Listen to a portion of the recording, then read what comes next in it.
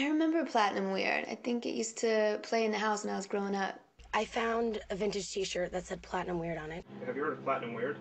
What's Platinum Weird?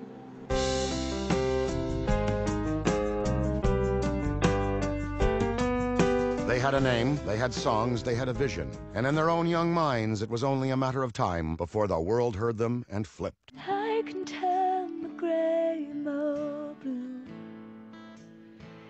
Me a chance and I'll show you. Well, the first time I met Erin, I thought immediately she's got to be with someone.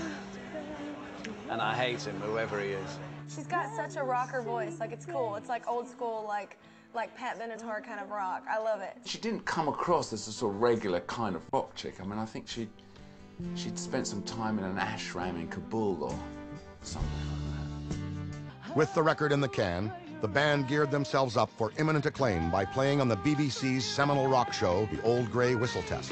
Tumbling, tumbling down. Will you be around? It was to be their last performance. With artwork being finalized, release dates and promotional tour schedules penciled in, Erin disappeared again.